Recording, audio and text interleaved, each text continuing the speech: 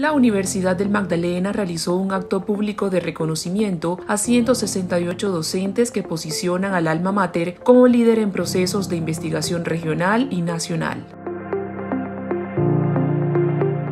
La Universidad del Magdalena en los últimos cinco años viene avanzando muy positivamente en todas las mediciones eh, de investigación, ha mejorado el posicionamiento de sus investigadores, de sus grupos, la visibilidad nacional e internacional de sus investigaciones, de sus artículos, de sus publicaciones y lo más importante, se ha fortalecido el ecosistema de investigación de nuestra universidad. El avance de la universidad ha sido extraordinario, lo podemos ver en las cifras de los investigadores, de la categorización de los investigadores y realmente eh, el reconocimiento que ha tenido la universidad por parte de, de los organismos externos y también por la comunidad en cuanto a su avance con relación a la investigación es realmente meritorio.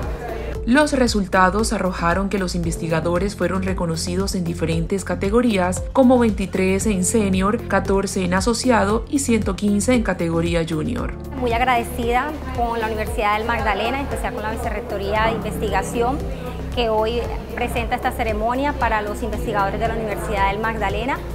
Esto me hace sentir cada vez más comprometida para que cada vez el trabajo que se haga de la investigación sea comprometida con el territorio, con el desarrollo social y económico. Por su parte, los grupos de investigación se destacaron de la siguiente forma, 8 en el grupo A1, 19 en grupo A, 15 en grupo B y 22 en grupo C. La investigación, la verdad, ha venido evolucionando y gracias a esos procesos de, de investigación y los resultados que se han obtenido, hemos logrado que la universidad hoy se posicione como una de las principales, no solamente a nivel regional, nacional, sino también que ya está reconocida a nivel mundial.